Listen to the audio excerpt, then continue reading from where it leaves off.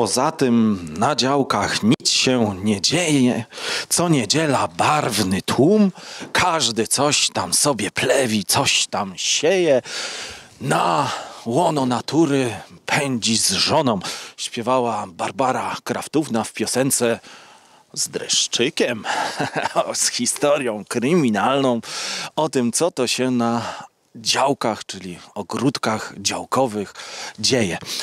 I w dzisiejszym odcinku chciałbym Państwu opowiedzieć o historii ogrodów działkowych, e, jak ta idea rozwijała się, a okazuje się, że ta idea ma znacznie, znacznie dłuższą historię niż by się zdawać mogło.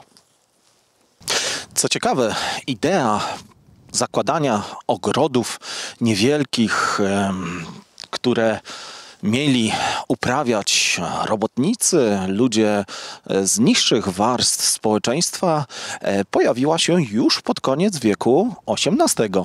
W 1797 roku e, został założony pierwszy taki ogród przez Karla von Hessen. E, tyle tylko, że były to tereny wtedy należące jeszcze do Danii, ale ta idea takich ogródków, gdzie ludność mogłaby poprawić swoje zaopatrzenie w warzywa, w żywność e, zdobędzie szybko popularność w innych krajach niemieckich.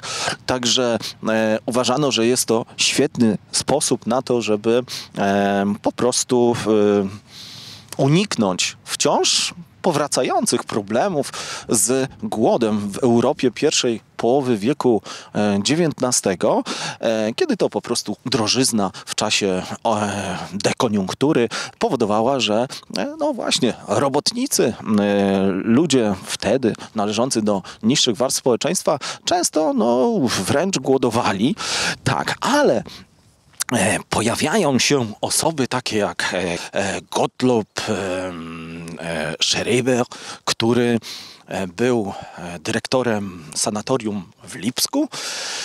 I on e, stwierdził, że taka aktywność fizyczna e, podczas prac rolnych dla ludności miejskiej e, jest bardzo wskazana. No, Schreber był generalnie pomysłodawcą wielu wynalazków, które miały sprawić, że na przykład ludzie e, pracy będą przyjmowali wyprostowaną postawę, no on już wtedy zauważył, e, a mówię tutaj o pierwszej połowie wieku XIX, że praca przy maszynach powoduje problemy z kręgosłupem. Tak, po dziś dzień przecież powszechne problemy. No i wymyślał różne urządzenia, e, e, które miały sprawić, że właśnie te wady postawy zostaną wyeliminowane. Także no, uznał, że właśnie taka aktywność fizyczna podczas kopania, plewienia, e, przycinania drzewek to znakomita forma gimnastyki, naturalnej gimnastyki, no a przy okazji łączone było przyjemne z pożytecznym.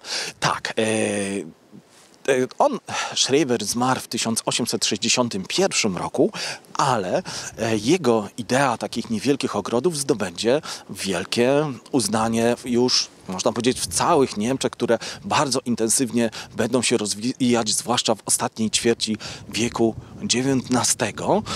E, I takie ogrody będą powstawać w dużych ośrodkach miejskich, przede wszystkim w Hamburgu, ale także w Berlinie, jak również we Wrocławiu.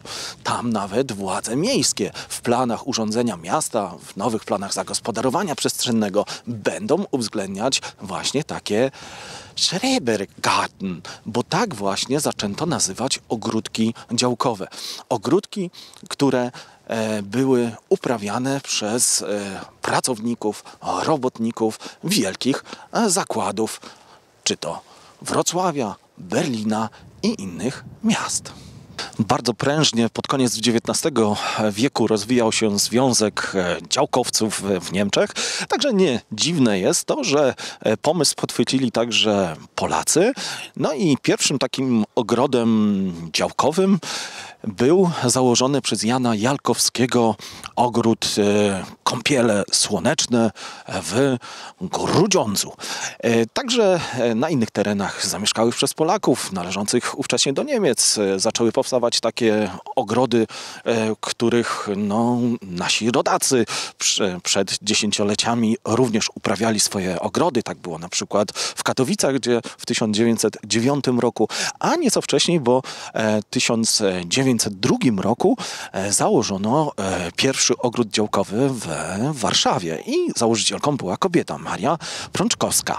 E, I co ciekawe, e, był to ogród pracowniczy dla pracowników kolei. Zresztą tak samo było właśnie z sytuacją w Niemczech. Tam również e, bardzo wiele ogrodów działkowych e, należało do pracowników kolei. A dlaczego tak było? Ano dlatego, że e, tereny leżące wzdłuż sieci kolejowej były terenami należącymi bezpośrednio do kolei państwowych, a zatem były to tereny, które można było wykorzystać na takie ogródki pracownicze, bo one nie mogły być wykorzystywane chociażby pod e, zabudowę i dlatego też e, w Niemczech było wiele takich ogrodów pracowniczych, chociaż oczywiście także inne profesje domagać się będą e, posiadania własnych ogródków działkowych na ziemi, którą wytyczać będą władze magistrackie i takie ogródki będą powstawać także w naszej okolicy. Zresztą z końcem wieku XIX e, widać, że także e, ideą ogrodów działkowych e, interesują się mieszkańcy Zorał, także zostanie tutaj wydany statut takich stowarzyszeń działkowców, a i w Żarach pojawią się prenumeratorzy czasopism e, przeznaczonych dla działkowców. A te czasopisma są bardzo ciekawe, bo można tam znaleźć nie tylko informacje stricte e, dotyczące uprawy e, warzyw, roślin, kwiatów, ale również informacje o świecie, o zwierzętach. Także widać, że były ówcześni działkowcy przełomu wieku XIX i XX e, żywo interesowali się przyrodą.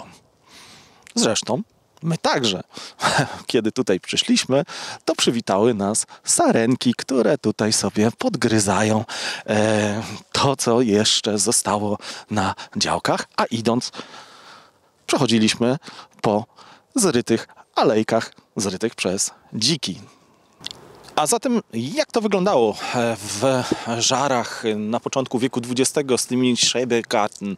Oczywiście one również powstawały na terenach kolejowych, także dróżnicy, jak również e, tor, tormistrzowie, ci, którzy zajmowali się torami, e, przy swoich zabudowaniach, przy swoich domeczkach wzdłuż torów mieli swoje własne ogródki, jak również Schrebergarten założono właśnie tutaj, w tej okolicy, gdzie były łąki niegdyś, czyli jesteśmy przy e, ulicy, tutaj mamy ulicę Moniuszki, e, Tribelerstrasse dawną. E, to jest dzisiaj teren osiedla muzyków. No i tutaj właśnie istniały takie ogródki zwane Schrebergarten. Zresztą nawet dzisiaj można znaleźć tutaj drzewa, e, które były sadzone na tych działkach. Zresztą długo znajdowało się tutaj ogrodnictwo, ogrodnictwo należące no, po wojnie do kolei. Ogrodnictwo, z którego no, tak łatwo na przykład kolej, polskie koleje państwowe nie chciały zrezygnować, czym opóźniały budowę e, budowę właśnie y, tego osiedla. Y, w czasach II wojny światowej y, Niemcy uważali, że te, te Schrebergarten to jest świetny sposób na zaopatrzenie w deficytową wtedy żywność, także popierali hodowlę, uprawę, uprawę właśnie roślin, przede wszystkim warzyw, których tak bardzo brakowało.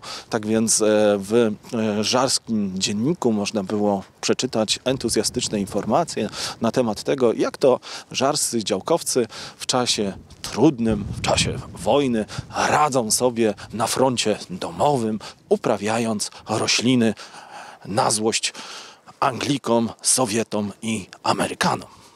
W powojennej rzeczywistości brakowało wszystkiego, a zatem bardzo, e, bardzo chętnie pierwsi już mieszkańcy Żar zagospodarowywali wolne tereny pod zakładanie ogródków, także e, pojawiły się różnego rodzaju spory sąsiedzkie dotyczące właśnie tychże e, ogrodów, e, no bo no, jedni mówili, że to ich teren, inni, że oni zagospodarowali, także nie brakowało w latach 50.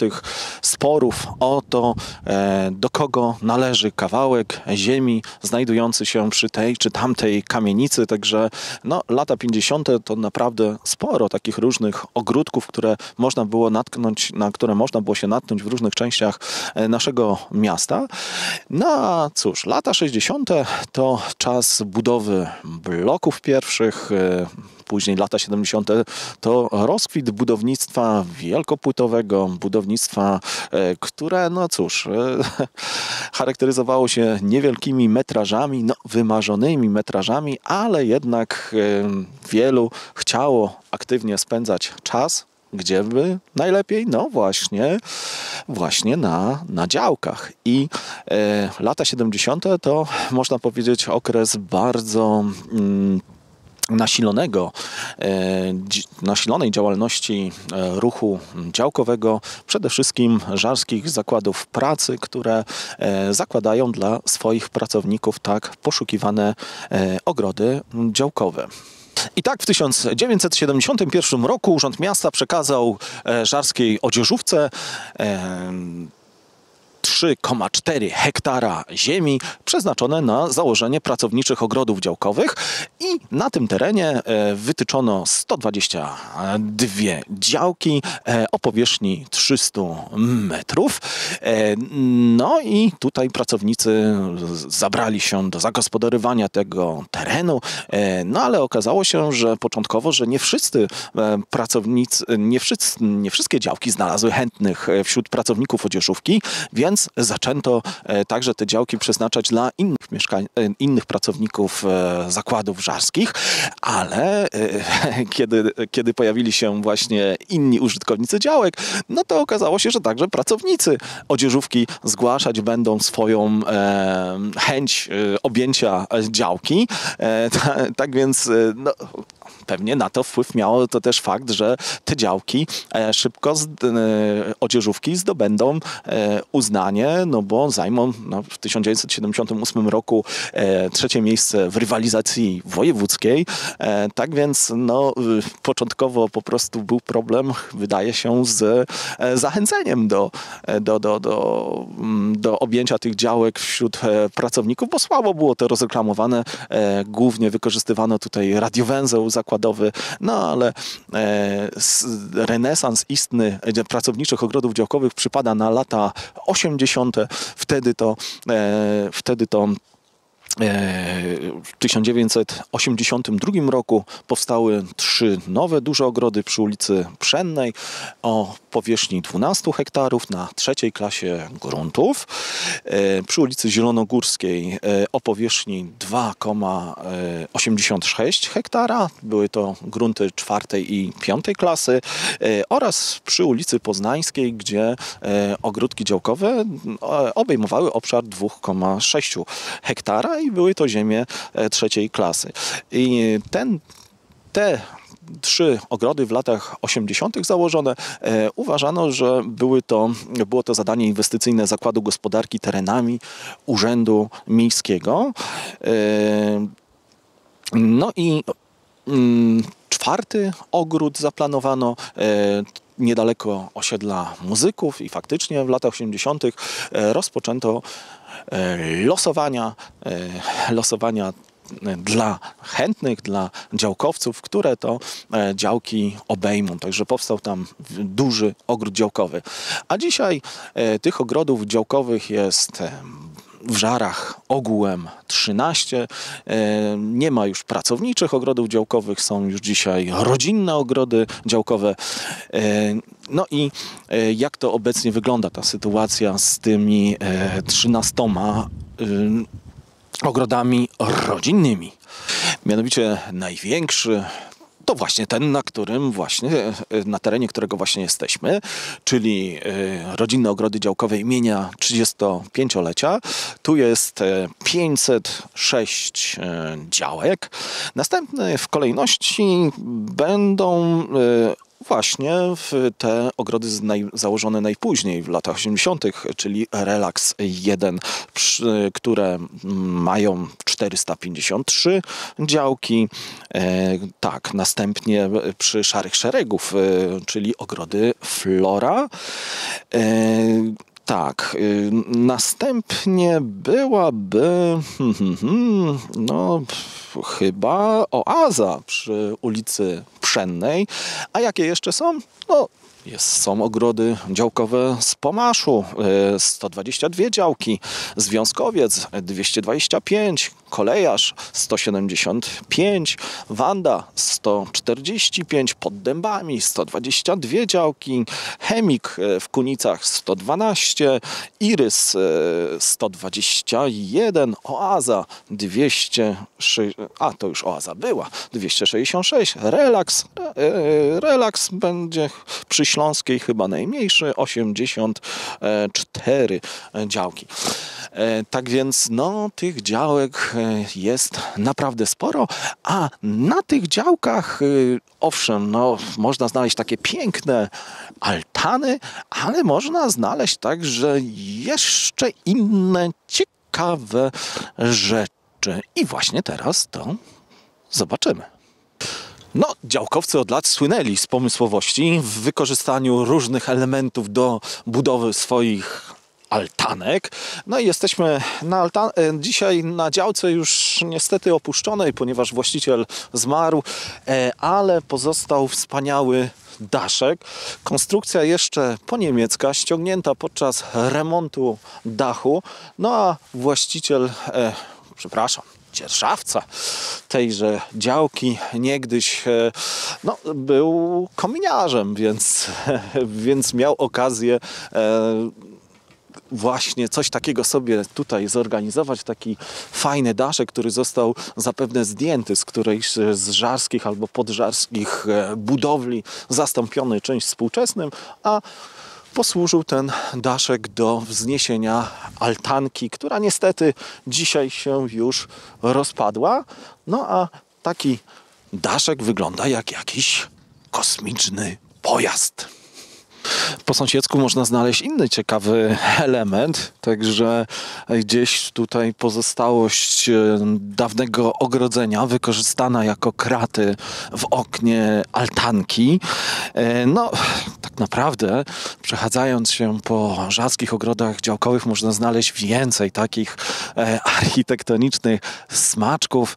Także no dzisiaj życie e, w ogrodach działkowych e, zamarło, ale już wkrótce, kiedy nadejdzie wiosna, zrobi się tu gwarno, a kiedy przyjdzie lato, to będzie to bardzo, będą ogrody chętnie odwiedzane przez e, zarówno działkowców, jak i ich rodziny.